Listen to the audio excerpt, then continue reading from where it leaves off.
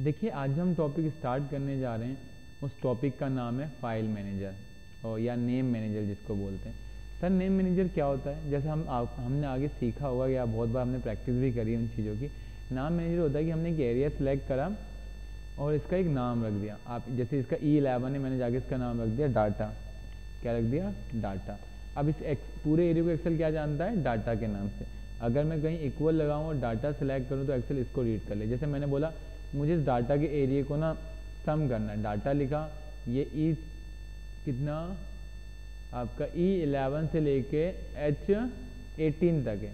मैं ई एलेवन पे गया और मैंने यहाँ कोई वैल्यू डाल दी, यहाँ कोई वैल्यू डाल दी, यहाँ वैल्यू डाल दी, यहाँ वैल्यू डाल दी, यहाँ वैल्यू डाल दी। डाल दी।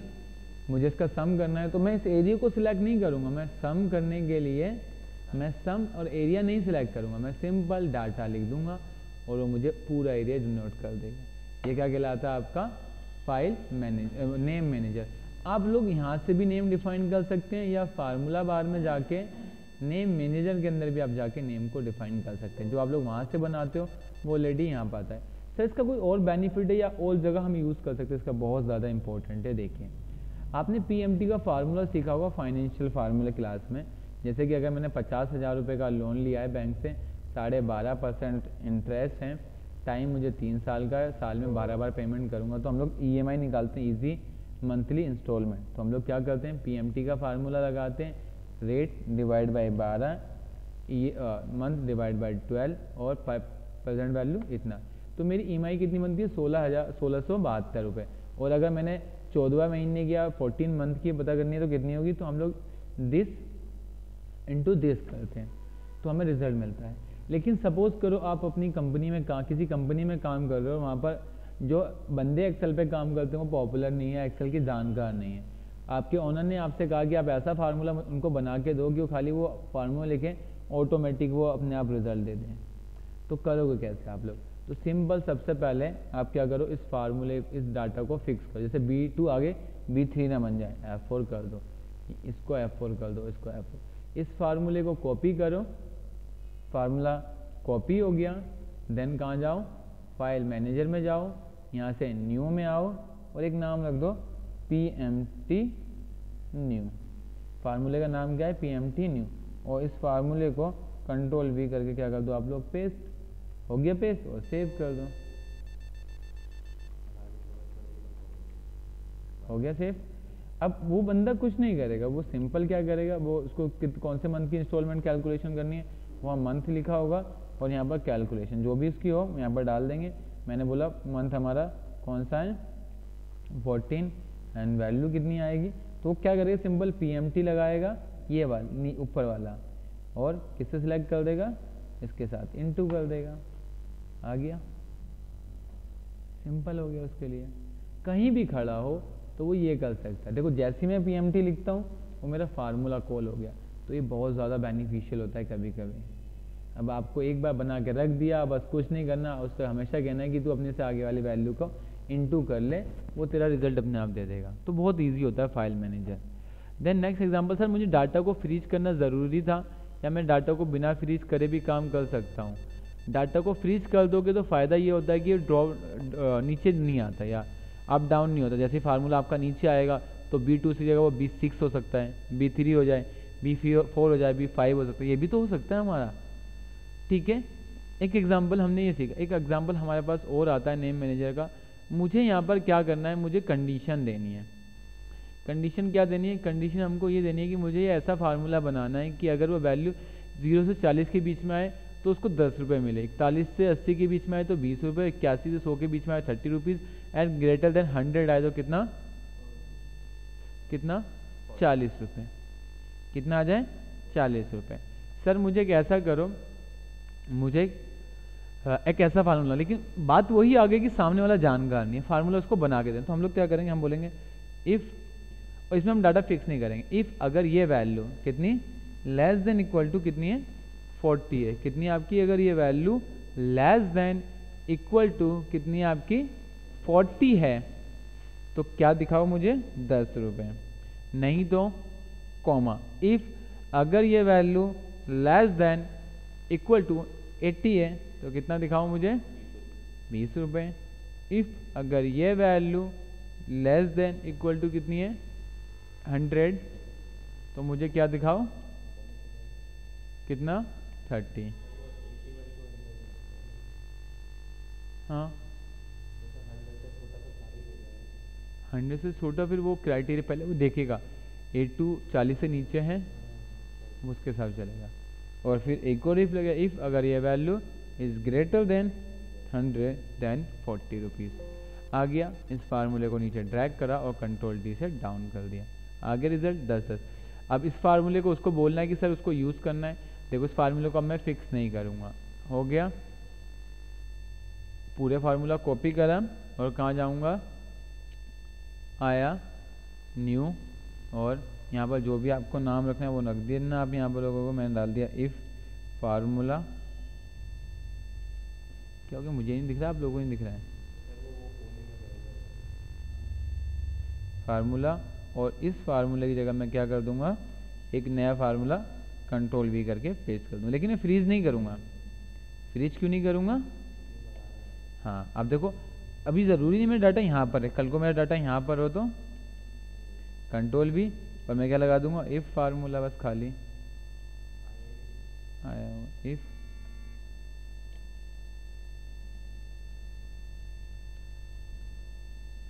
नेम मैनेजर में जाते हैं।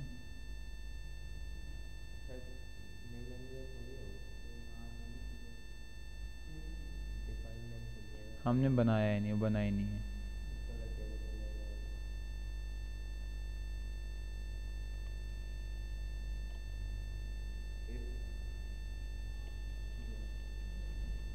और उसको कंट्रोल भी करके।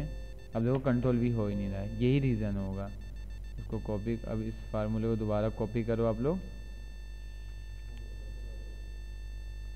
कॉपी कंट्रोल सी देन यहाँ गए। कहाँ पर? अगर नेम मैनेजर की शॉर्टकट की जानी है तो कंट्रोल के साथ एफ़ थ्री दबा दो तो आपका नेम मैनेजर ओपन हो जाता है। इंटर मारो एंड देन यहाँ पर रख दो। If formulas and then यहाँ पर कंट्रोल भी करके। उस फार्मूले को क्या कर दो आप लोग? पेस्ट कर दो। और किस पे क्लिक कर दो? सेव बटन पे। फार्मूला ऐड हो गया। अब ये कह रहा है कि इस नाम से फार्मूला नहीं बन सकता। इफ़ फार्मूला के नाम से। If calculation. हाँ नहीं माँगता। आ गया। बस मैं कुछ नहीं करूँगा। इफ़ कौन सा ऊपर वाला? आ गया दस। सर, इसने दस कैसे ले लिया? क्योंकि मैंने इसको बोला, अपने से पहले वाली वैल्यू का टोटल निकालो। वो अपने से पहले, देखो मैं एक सौ एक करूँ, कितना हो जाएगा? इंटर मारा। ये एट अच्छा देखो अभी भी ए टू से लिंक है। किससे लिंक है वो? ए टू से लिंक है। ये दिक्कत आ गई ना। ए टू से लिंक हो रही है तो देखो डाटा फ्रीज हो गया, जबकि मेरा गलत हो जाएगा। फ्रीज मत करना। देखो, उसके आगे डॉलर के साइन लगे होंगे।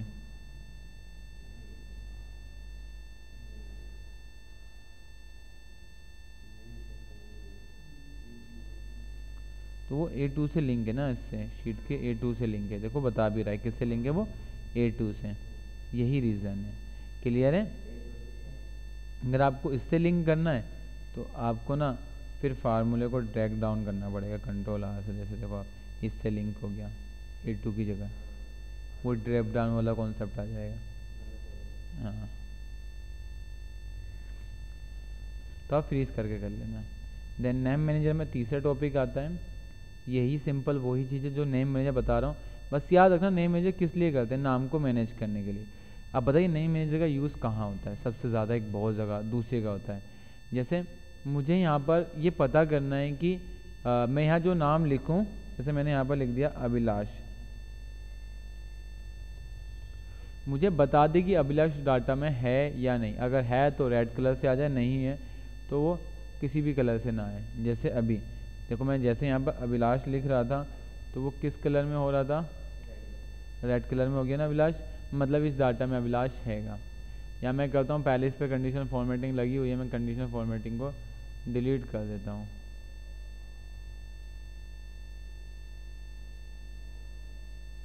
कोई कंडीशन फॉर्मेटिंग नहीं लगी हुई है, ठीक है?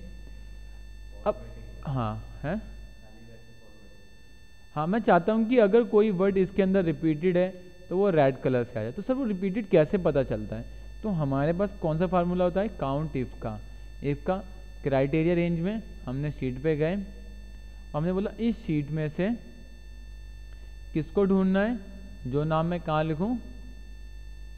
इस पे। जैसे ही आप इस पे इंटर मारेंगे एक मैसेज कितना आ गया? वन आ गया। कितना आ गया आपका? वन वन आ गया। अभिलाष इस डाटा में एक बार है। लेकिन उस शीट में डाटा अभिलाष तो काफ़ी बार था था नहीं था। दोबारा लगाते हम लोग। काउंट इफ़ रेंज में हम ये दे देंगे, कौन सा शीट नंबर दिस आ गया कॉमा क्राइटेरिया मैनेज में तीस पे गए, तीसरे पे गए इंटर मारा और इंटर करा। तो कितना आ गया? वन आ गया। वन आ गया। लेकिन सर, अभिलाष तो डाटा में काफ़ी बार रिपीटेड है। देखो ना यहाँ पर। एक बार। नहीं, एक ही बार तो है।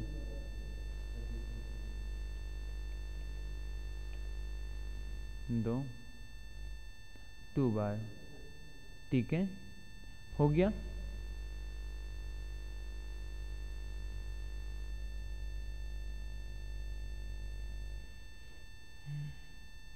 आगे मैं चाहता हूँ इसको कलर हो जाए।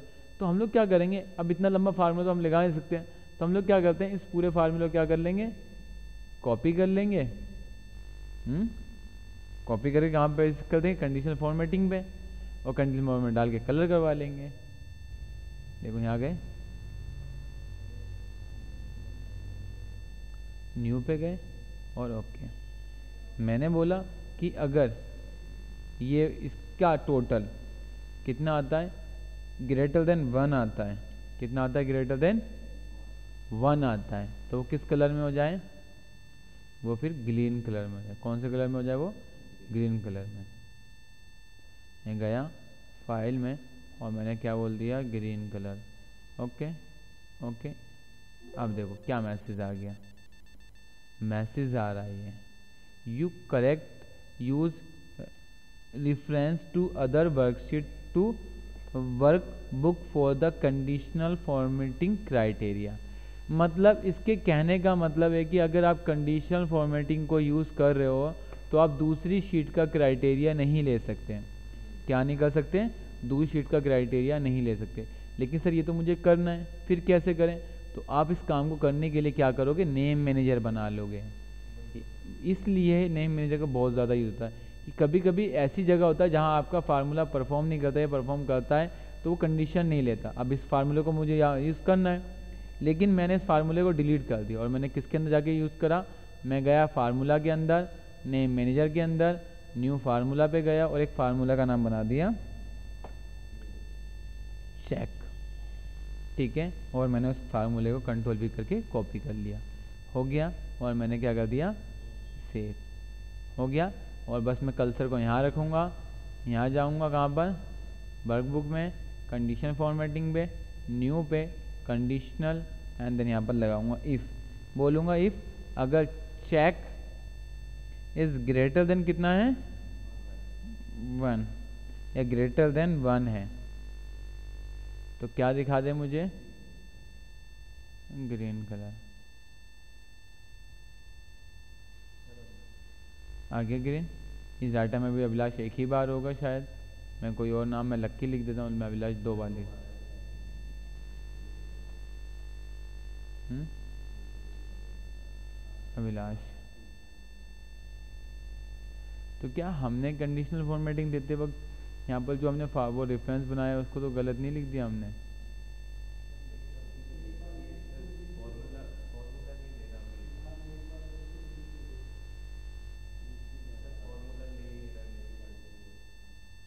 अरे, इसके पीछे येलो करनी येलो लगा हुआ है ना, पहले येलो को हटा देते हैं।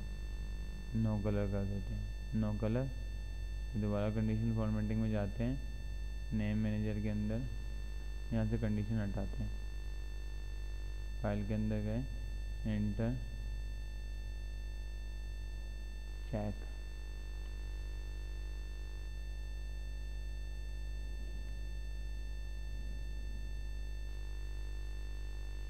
अच्छा।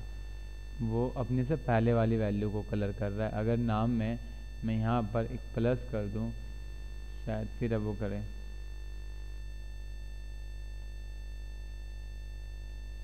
देखा? अगर मैं यहाँ कुछ डालूं विलास हो गया? मतलब वो ए टू को कलर करेगा। किसको करेगा? वो ए टू को। क्योंकि फार्मूले में बोला हुआ भी था मैंने। क्या बोला हुआ था फार्मूले में?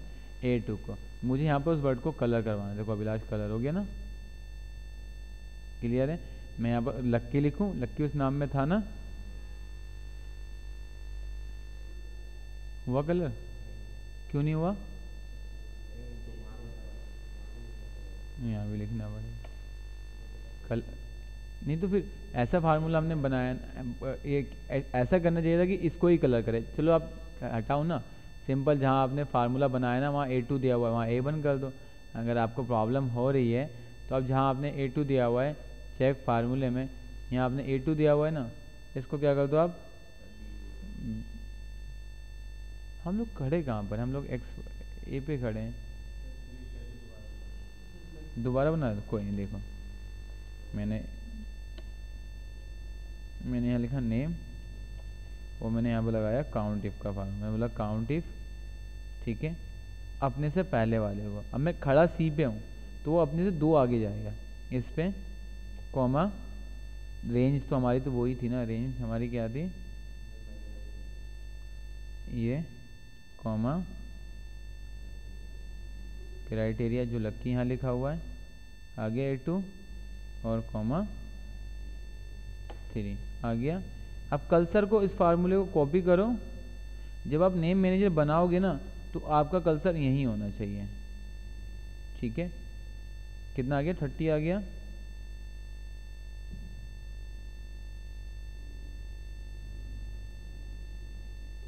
थर्टी आ गया।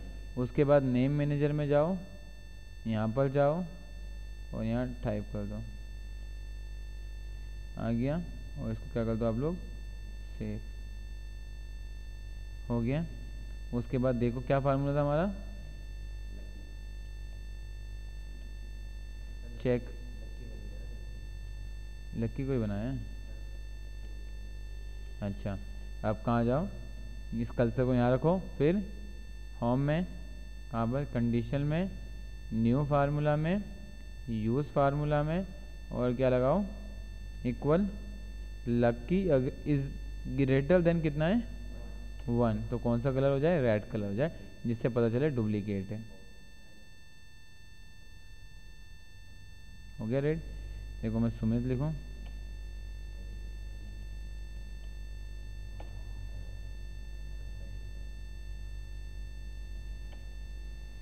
ठीक है?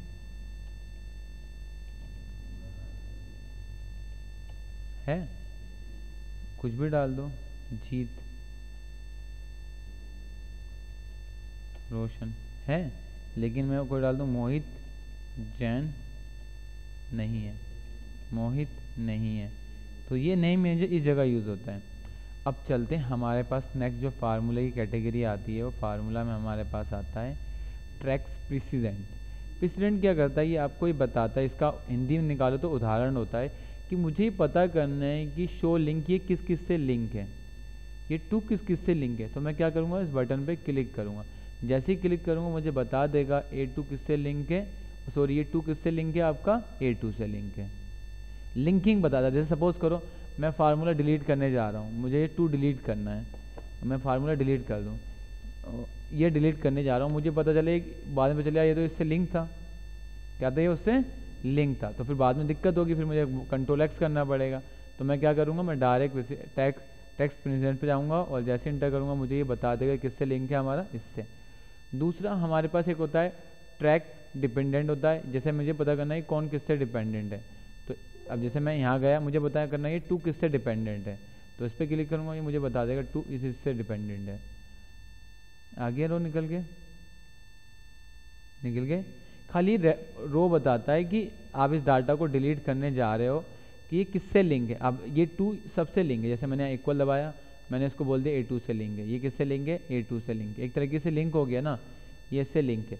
अब मैं इस डाटा को डिलीट करूँगा तो सभी में एरर आ जाएगी। आ जाएगी ना एरर आगे? आगे सभी में?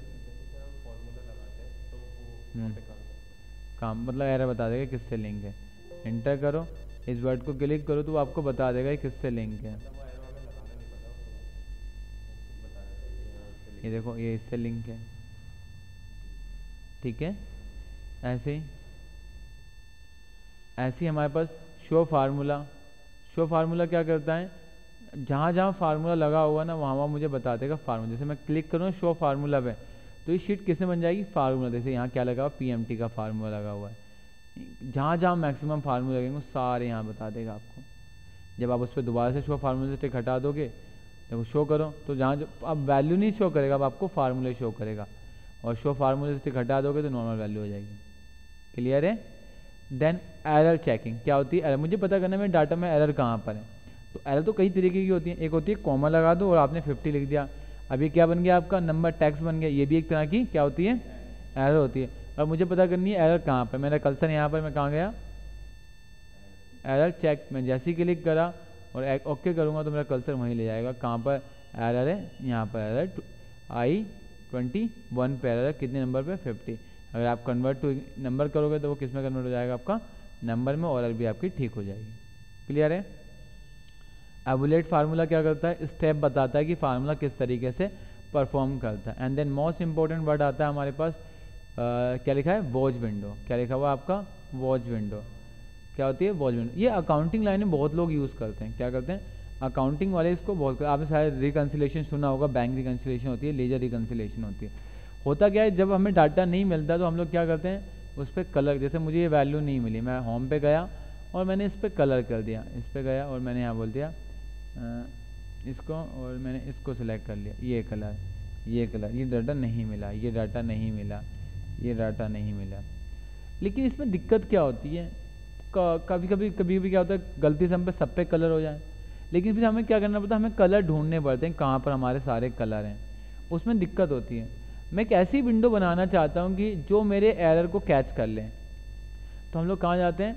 फार्मूले पे आते हैं, फिर हम लोग कहाँ जाते हैं? वॉच विंडो पे, और हम जाते हैं ऐड विंडो मैंने जैसे ही करा तो उसने पूछा, ये आपकी एरर है? मैंने कहा हाँ ये एरर है। ओके करा, और जैसे ही ऐड करूँगा, क्या बन गया मेरी एक एरर बन गई। डी सिक्स वैल्यू में थर्टी क्या मेरी एरर है? यहाँ पर गया इस पर क्लिक करा। ओके करा, मेरी एरर बन गई। इस पर गया, टिक करा, ओके करा, बन गए मेरी ये गलती है, टिक करा, ओके करा, और बन गए एरर हो गई पाँच सात चार पाँच एरर आ गई। किसी ने कहा कि चलो मुझे इन एरर को दिखाओ। अब मेरे सीनियर आए, उन्होंने कहा, बताओ कौन कौन सी एरर है? तो मुझे ढूंढना नहीं पड़ेगा, मैं कहाँ जाऊँगा खाली? वॉच विंडो पे जाऊँगा। मैं कहूँगा, सर, एक तो आपका इस पे एरर जैसे इंटर मारूँगा, मेरा कल से वहाँ पहुँच जाएगा। एक इस पर एरर है, मेरा कल्सर वहाँ आ जाएगा। ठीक है? ये एरर बाद में सपोज़ ठीक हो गई तो मैं यहाँ से क्या कर दूँगा? डिलीट डिलीट हो जाएगा। मुझे इस पे जाना है, इस पर गया डिलीट हो गया। इस पर गया डिलीट हो गया। तो ये रिकन्सिलेशन के टाइम बहुत ज़्यादा आपको यूज़ करेगा। तो आप हमेशा याद रखना है कि वॉच विंडो का काम होता है, खाली वो वैल्यू को स्टोर करके रख लेता है। जब आपकी एरर ठीक हो जाए तो आप वॉच विंडो से उस डाटा को डिलीट भी कर सकते हैं। देन आपके पास मोस्ट इंपॉर्टेंट आता है कैलकुलेशन मोड यहाँ पर देखो आखिरी में लिखा है कैलकुलेशन आप जानते हैं एक्सेल में दो तरीके एक तो मैनुअली कैलकुलेशन होती है, दूसरी ऑटोमेटिक होती है। जैसे, अभी मैंने क्या लिखा? मैंने यहाँ लिखा 50 प्लस थर्टी कितना हो जाएगा? 50 प्लस थर्टी एट्टी हो जाएगा। कितना हो जाएगा आपका? 50 प्लस एट्टी सपोज़ करो ये फार्मूला बहुत लेंदी होता और ये 50 60 कॉलमों से लिंक होता। तो जब भी हम लोग किसी फार्मूले में अपडेट करते हैं ना, वो सारी शीट को कैलकुलेशन करता है। हमारा दो मिनट, तीन मिनट, एक मिनट वेट करना पड़ता है। हमें वेट करना पड़ता है कि पहले फार्मूला रन हो जाए परफॉर्मेंस आ जाए देन हम आगे काम करें। लेकिन हम लोग क्या करते हैं? हम जानते हैं कि हमारा काम सही है, हम जो कर रहे हैं। लेकिन वो फार्मूला कैलकुलेशन करता है, बहुत ज़्यादा टाइम कंज्यूम होता है। तो हम लोग क्या करते हैं? उस फार्मूले को वेट करवाते हैं कि जब हम किसी काम में बिज़ी हों, तुम रन हो जाना। तो हम लोग क्या करते हैं? उसको कैलकुलेशन एड में जाके क्या बोलते हैं? मैनुअली क्या करते हैं? मैनुअली अब देखो मैं यहाँ सिक्सटी का ट्वेंटी लिखूँ, कोई चेंज नहीं हो रहा। हो रहा चेंज नहीं हो रहा। क्यों? क्योंकि अभी मैनुअली मोड पे हैं। कुछ नहीं कर सकता इसमें। तो आप इस पर जाके जैसे ही ऑटोमेटिक करोगे, वो फार्मूला ठीक हो जाएगा। तो हम लोग करते क्या जैसे हमारी सीटें बहुत बड़ी बड़ी होती हैं छः सौ एम बी सात सौ एम बी तो जब हम लंच करने जाते हैं ना, तब हम कैलकुलेशन मोड पर लगा देते हैं। इससे फ़ायदा क्या होता है? जब तक हम लंच करते हैं, हमारी वो सारी कैलकुलेशन करके रख लेते हैं। और हमें वेट नहीं करना पड़ता, जिससे हमारा काम और फास्टली होता है। अभी आप देख रहे हो, हमारी शीट बहुत छोटी है तो फार्मूला बहुत जल्दी उसने अपडेट कर दिया। लेकिन जब आपकी शीट 500 सौ एम बी की होती है ना तो बहुत ज़्यादा टाइम लेके चलती है। खुलने में भी पंद्रह मिनट लेती है, बंद होने में पंद्रह मिनट लगता है। और एक फार्मूले पर एंटर मारेंगे तो बहुत ज़्यादा टाइम लगता है। पंद्रह पंद्रह मिनट लग जाते हैं एक बार में। तो उस काम से बचने के लिए ना, हम लोग कैलकुलेशन मोड को क्या कर देते हैं? मैनुअली और फिर बाद में ऑटोमेटिक कर लेते हैं। ऐसी आपकी कैलकुलेशन ना होता है कैलकुलेशन शीट होता है। दोनों का यही काम होता है। ठीक है? आपने कहा कि कैलकुलेशन शीट पे कुछ भी ना हो तो आप कैलकुलेशन ना हो कर दोगे तो कुछ भी नहीं होता है। ठीक है? कि मतलब अभी आपका मैनुअल था, आपने कहा मुझे अभी कैलकुलेशन करनी तो आप कैलकुलेशन नाव पे क्लिक करेंगे, तब वो आपका परफॉर्म कर देगा। ठीक है? ये आपका आज का टॉपिक था, जिस टॉपिक में हमने फार्मूला एडिटिंग सीखी और नेम मैनेजर या नेम डिफाइन करना सीखा। मैं बता दूँ नेम मैनेजर आप यहाँ से भी कर सकते हैं, किसी एरिया को सिलेक्ट करके आप एड्रेस बार में जाके यहाँ से भी कर सकते हैं। इसकी शॉर्टकट जो की होती है, वो एफ़ कंट्रोल के साथ एफ़ थ्री होती है। आप कहीं भी खड़े हो अपने कीबोर्ड पे कंट्रोल के साथ एफ़ थ्री दबा दोगे तो आपका क्या ओपन हो जाता है? नेम मैनेजर क्या ओपन हो जाता है आप लोगों का? Name manager